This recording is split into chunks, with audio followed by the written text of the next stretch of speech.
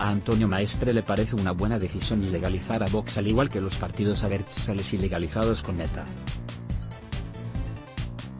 A través de su blog Todo está en Bourdieu, el tertuliano de la Sexta ha criminalizado de nuevo a la formación de Santiago Abascal asegurando que es un partido franquista, no solo por sus ideas, sino también por sus vínculos. El periodista ha recordado que los partidos de la izquierda abertzale han estado años ilegalizados buscando cumplir una serie de reglas democráticas.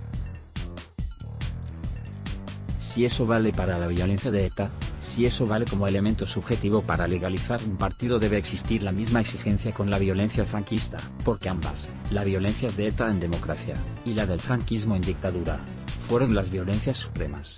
Las que como país hemos sufrido.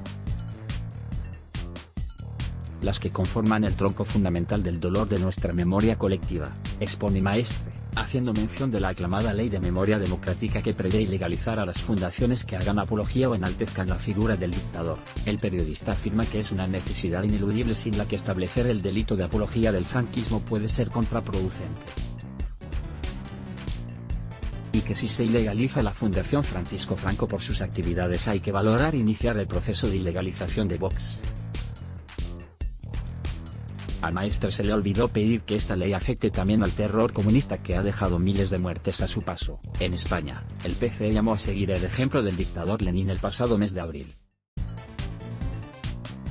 El propio ministro de Consumo, Alberto Garzón, publicó una foto en un mitin, junto a la imagen del tirano comunista Lenin.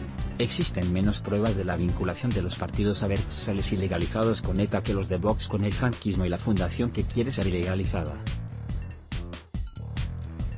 Si la democracia española es militante, como ya lo ha sido en determinados aspectos, tiene que serlo con Vox e iniciar el proceso de ilegalización si se aprueba la nueva ley de memoria democrática, expone Maestre.